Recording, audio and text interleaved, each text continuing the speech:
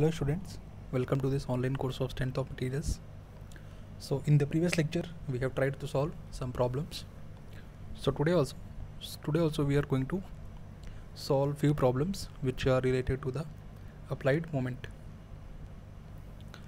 So before moving to further I would like to tell you about the last question which we have solved and the beam was cantilever beam subjected to only applied moment was m. So you can see the shear force in whole beam is 0 okay that's why the moment was the bending moment diagram was a constant. Like it was not changing. Throughout it is m. So such sections are termed as the section is in pure bending. Okay pure bending means zero shear force and constant bending moment.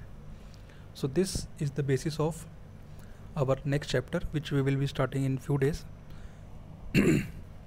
Sorry. So uh, you have to be very clear. If uh, we are talking about pure bending then the shear force must be zero in particular section. So it can be achieved by any means. Like here you can see we have applied the uh, applied the moment at the free ends.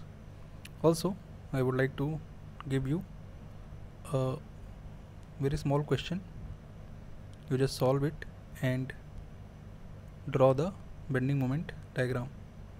So this is L by 3 this is L by 3 and this is also L by 3 so the load is applied at L by 3 from both the ends. So you can you have to calculate for which section the pure bending is there. Whether it is there or not first you have to check it. Maybe it is there or may maybe it cannot be there.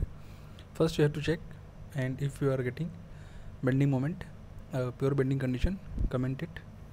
We will check. If you are not able to get then ask me. I will explain it. So let us move to our next question which is uh, this is not cantilever this is simply supported beam. Simply supported beam of span L carries a, clockwise moment M at end B draw shear force and bending moment diagram. So this is much like the previous case but in previous case the reaction RA was 0 that is why we uh, we have we got the shear force 0 throughout the beam. But we have to check whether in this condition also the reaction at RA and RB are coming to be 0 or not this we have to check. So first we are going to calculate the reactions due to this applied moment. So the first condition will be what? The reaction HA will be 0 because there is no external applied horizontal force.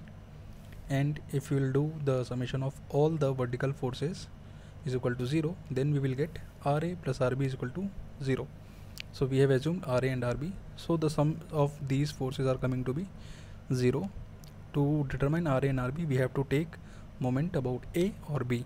So we are taking moment about A. So we are getting RB as M by L. That means whatever we have assumed the direction of RB is correct and we can get RA as minus M by L. Then only the summation will be 0 so RA is coming out to be minus M by L. So we have changed the direction of RA so this will be upward this will be downward. So now you can check the shear force is not coming to be zero okay?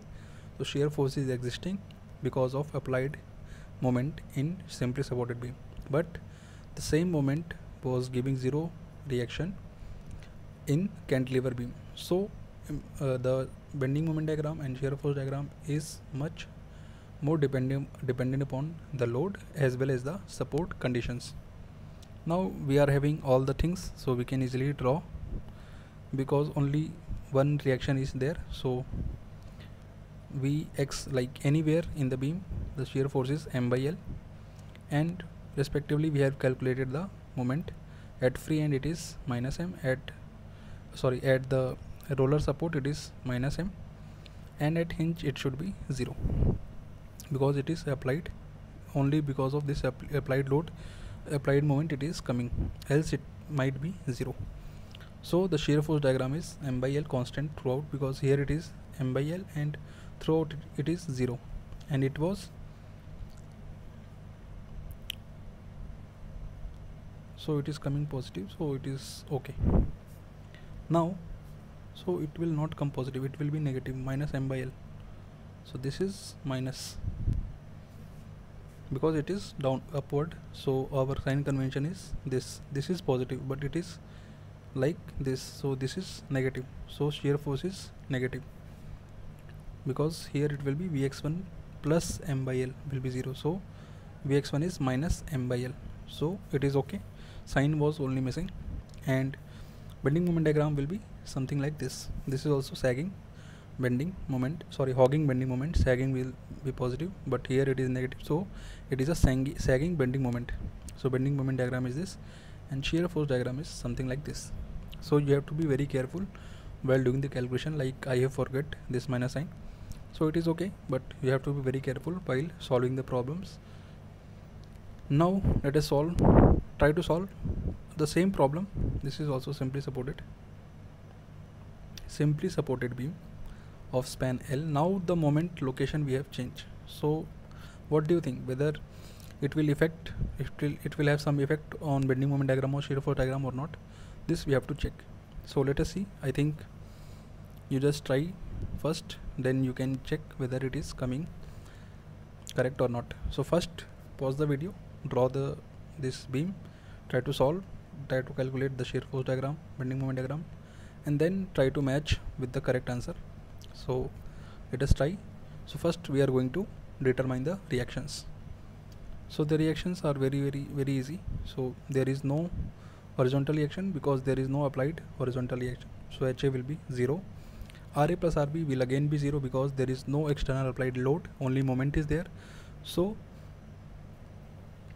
again you can check. The reactions are same. Reaction is not going to change by the location of bending uh, by the application of external load external moment okay? So this is clear. So this is negative. So m by l in downward direction this is positive. So it is okay. Now there there will be two sections because at midpoint the loading conditions after midpoint loading conditions are changing. So we have to take the two different sections like of uh, half of length. So first section we have taken like this. So it is something like this. So x1 is changing from 0 to L by 2 so we have taken uh, the section in between midpoint and section B the roller support. So here again it is it will be minus m by L. This will be minus m by L okay. Here also it will be minus m by l. So that is okay. And bending moment you can easily calculate. At roller it is coming out to be 0 at midpoint it is coming out to be plus m by 2 that is fine. And in the span which will be between hinge support and the midpoint at the midpoint in that section it is coming out to be minus m by 2 and at hinge it is 0 so let us see how we are going to solve it.